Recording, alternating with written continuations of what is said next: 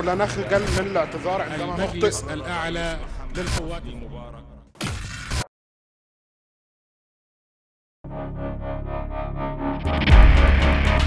البرنامج.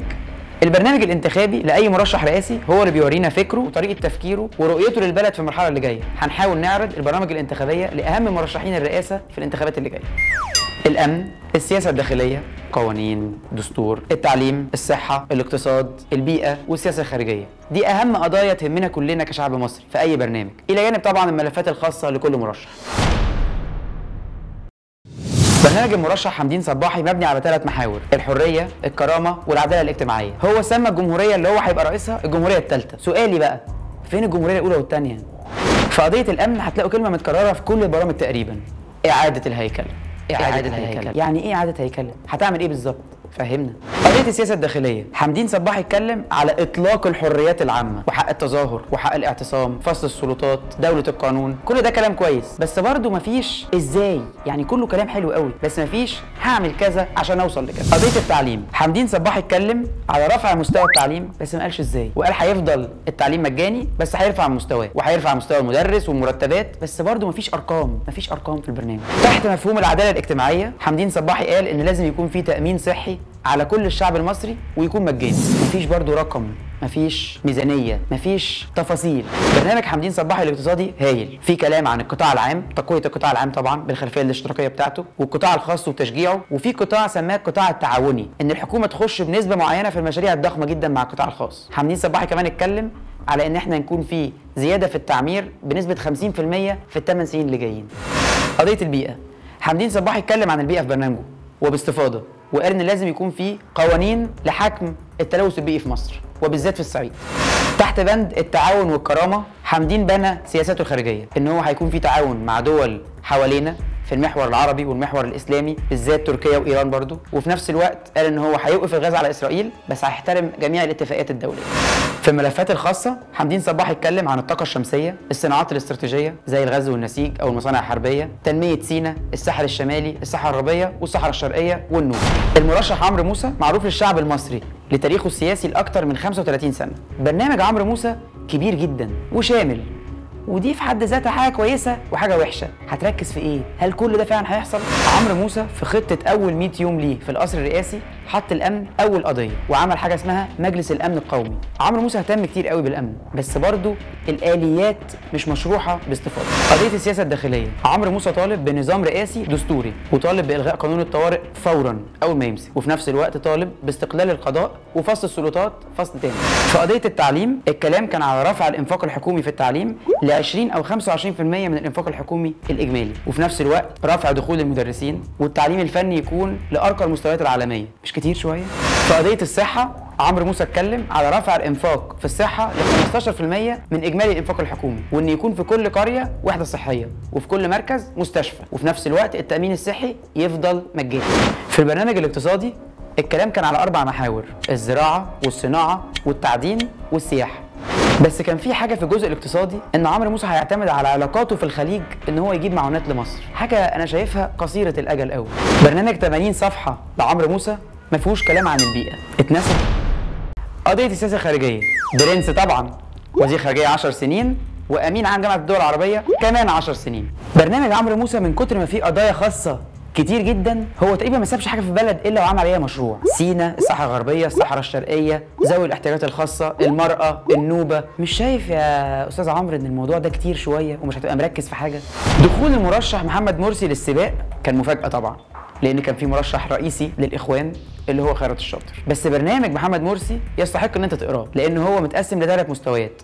مستوى فكري مستوى استراتيجي ومستوى تنفيذي. والبرنامج مفصل بطريقة هايلة. ولو إن قضية الأمن قضية مهمة جدا لكل المصريين فبرنامج الدكتور محمد مرسي ما كانتش واخدة حيز كبير قوي وكان الكلام فيها على إعادة هيكلة الداخلية برضو من غير ما يقولوا لنا إزاي وجعل جيش مصر من أقوى جيوش المنطقة برضو من غير ما يتقال إزاي بالظبط. قضية السياسة الداخلية برنامج الدكتور محمد مرسي كان كل الكلام فيه على إن مصر تكون دولة مؤسسات ومكافحة الفساد وفصل السلطات واستقلال القضاء. التعليم كان واخد حيز كبير جدا في البرنامج وكان فيه زيادة الإنفاق وإن يكون في جامعة لكل 3 مليون مواطن. وقسم التعليم للمرحلة الأساسية والثانوية والتعليم الفني. على الرغم من إن برنامج محمد مرسي كبير جدا ومفصل.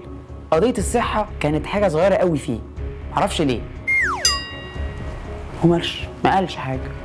قضية الاقتصاد كانت واخدة حيز كويس قوي في البرنامج بتاع محمد مرسي. ووعد إن يكون النمو الاقتصادي 7% كل سنة ووعد إن يخفض نسبة عجز الموازنة 20% كل سنة عن الثانية قضية البيئة برضه في محمد مرسي مش واخدة وضعها. أنا مش عارف إيه إحنا إحنا بلد نظيفة قوي كده فالناس مش مهتمة بالبيئة يعني. قضية السياسة الخارجية. في برنامج محمد مرسي قايل إن هو عاوز يعمل محاور عربية أفريقية إسلامية شرق أوسطية وعلاقات كويسة جدا مع الخليج. قضية الملفات الخاصة في برنامج محمد مرسي كانت خليط من التنمية الاقتصادية التنمية البشرية. لكن أكتر حاجات كانت موجودة كانت اقتصادية. والاقتصاد الموازي كان واخد وضعه في البرنامج على إنه الاقتصاد الغير رسمي. وكان من أهم الحاجات اللي كاتبها محمد مرسي في برنامجه التنمية المتباعدة. إن لو أنا عايز أنمي القاهرة كمدينة أنام بعيد عنها ب 50 كيلو. وما بين ال 50 كيلو اللي أنا نميته ده والقاهرة يتنمى مع الوقت. المرشح أحمد شفيق عنوان برنامجه عصر جديد. جديد؟ ماشي. وطن أفضل لامه عظيمة. في قضية الأمن أحمد شفيق اتكلم على إعادة الأمن في شهر. في مصر كلها. ولما اتسأل إزاي في أحد البرامج قال لهم بالتعليمات.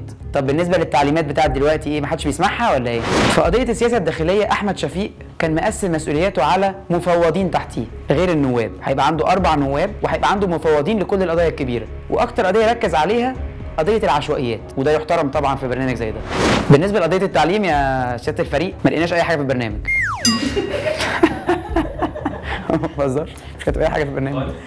في قضية الصحة أحمد شفيق اتكلم على التأمين الصحي المجاني الشامل لكل الشعب المصري وزيادة الوحدات الصحية في القرى والنجوع.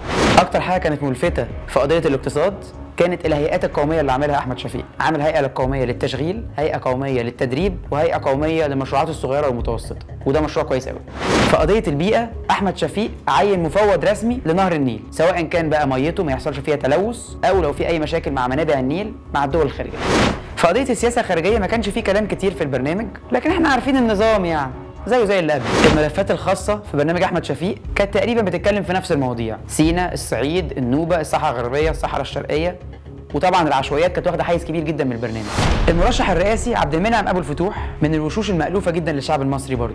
كونه من أبرز قيادات الإخوان المسلمين قبل كده واستقال من الجماعة أو تم فصله من الجماعة بعد ما ترشح لرئاسة الجمهورية. البرنامج الانتخابي للدكتور عبد المنعم الفتوح من البرامج اللي فعلا تستحق إن الواحد يقراها. في قضيه الأمن ما كانش فيه الالحاح في قضية الأمن أو إن قضية الأمن دي مهمة قوي كان الكلام على إعادة هيكلة وزاره الداخلية إلغاء نظام الإقامة الداخلية في الكليات بس ما فيش اللي هو في خلال كذا هيحصل كذا في السياسة الداخلية أبو الفتوح اتكلم على نظام رئاسي برلماني مع توزيع سلطات ما بينهم وفي نفس الوقت تكون دولة القانون اللي يطبق على كل الناس وفصل السلطات واستقلال القضاء. في قضية التعليم أبو الفتوح اتكلم على 25% من الموازنة العامة للإنفاق على التعليم وإن يكون 50% من الرقم ده لمرتبات المدرسين ويراجع المناهج ويرفع مستوى التعليم الفني والمستوى التعليمي الابتدائي والإعدادي. في قضية الصحة الدكتور أبو الفتوح قال إن هيوصل بينا ل 15% من الموازنة العامة للصرف على القطاع الصحي. يعني رقم برضو كتير شوية. في نفس الوقت قال إن هو هيعلي الضرايب على السجاير وكل المنتجات اللي بتضر بالصحة يصرف بيها على القطاع الصحي. في قضيه الاقتصاد أبو الفتوح اتكلم على تحويل الاقتصاد المصري من اقتصاد ريعي يعني اقتصاد بيشتغل على السياحة وقناة السويس حاجات بتدخل دخل إلى اقتصاد منتج.